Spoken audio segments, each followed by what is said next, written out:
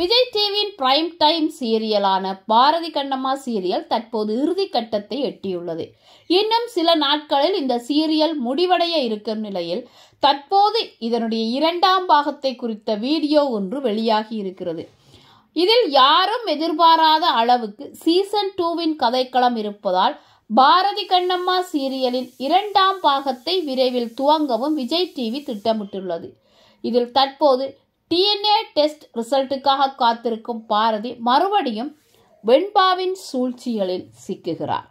அவர் மாற்றி வைத்த DNA test report மூலம் மீண்டும் கண்ணம்மா மீது அபாண்டமாக பழி சுமத்தியதால் கோபத்தில் கண்ணம்மா ஊரை விட்டு கிளம்புகிறார்.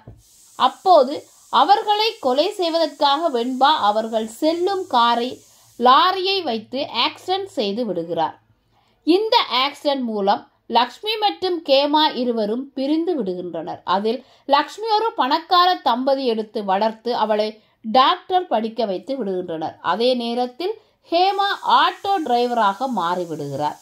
இவர்கள் இருவரும் கண்ணம்மாவுடன் இருந்த நினைவுகளை நினைத்தபடியே வாழ்ந்து வருகின்றனர். ஒரு முறை காரில் லக்ஷ்மியும் ஆட்டோவில் கேமாவும் வந்து கொண்டிருக்கும் போது ஆக்சிடென்ட் ஆகிவிடுகிறது அதில் லக்ஷ்மி மயங்கி விடுகிறார். உடனே ஆட்டோ டிரைவரான கேமா தன்னுடைய ஆட்டோவில் லக்ஷ்மி மருத்துவமனைக்கு கொண்டு செல்கிறார்.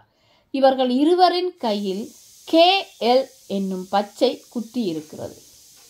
இவ்வாறு இரண்டாம் சீசனில் பாரதி கண்ணம்மா சீரியலில் கேமா மற்றும் லக்ஷ்மி தான் கதாநாயகியாக வைத்து கதையை உருவாக்கியுள்ளனர். இந்த வீடியோவானது சோசியல் மீடியாவில் வைரலாக பரவி வருகிறது. மேலும் முதல் சீசனை விட எதிர்பாராத திருப்பத்தை கொண்ட இரண்டாம் சீசன் களை கட்டும் என்று சின்னத்திரை ரசிகர்கள் இதை தொலைக்காட்சியில் பார்ப்பதற்காக எதிர்நோக்கி காத்திருக்கின்றனர். மீண்டும் ஒரு புதிய தகவலுடன் உங்களை சந்திக்கிறேன். வீடியோ உங்களுக்கு பிடிக்குந்தா லைக் பண்ணுங்க கமெண்ட் பண்ணுங்க செக் பண்ணுங்க. மறக்காம அந்த பெல் லைக்கில் கிளிக் பண்ணுங்க. பாய் ஃப்ரெண்ட் தேங்க்யூ